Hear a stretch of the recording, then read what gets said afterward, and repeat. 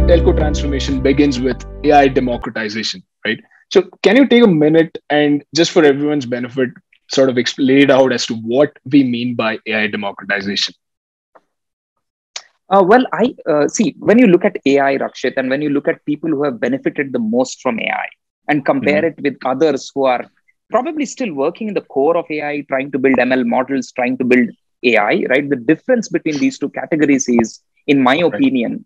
Uh, the former, the AI leaders, if you will, are the ones who are able to, uh, you know, not only think about designing AI driven solutions, but also put them into deployment and then, right. then operate it very successfully. I think when right. you look at uh, the whole life cycle, you know, it is really about how you, uh, you know, essentially ensure from the very beginning you understand the entire life cycle and life right. cycle management implies uh, bringing business users on board right mm. you're not going to get away uh, by yeah. by you know concentrating all the information on how to best use ai and data science only with the data scientists so you right. need to bring users on board now there are a few different dimensions to this structure right uh, one needs to understand users have the best information on the nuances of a use case, right? There, the use case is actually very close to the users.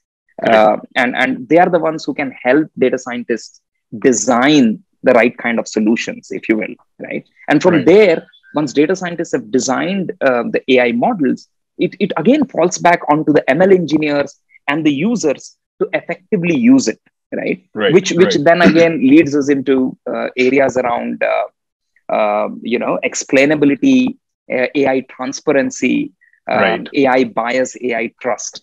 To me, True. democratization means, um, to your uh, original question, to me, democratization means uh, can I get uh, users, uh, you know, appreciate the value of AI?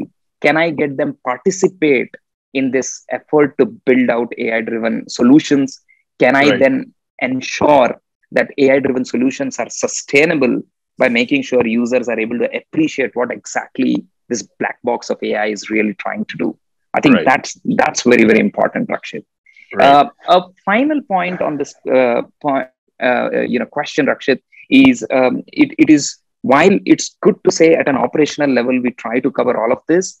Um, mm-hmm. A lot of mandate needs to come uh, top down.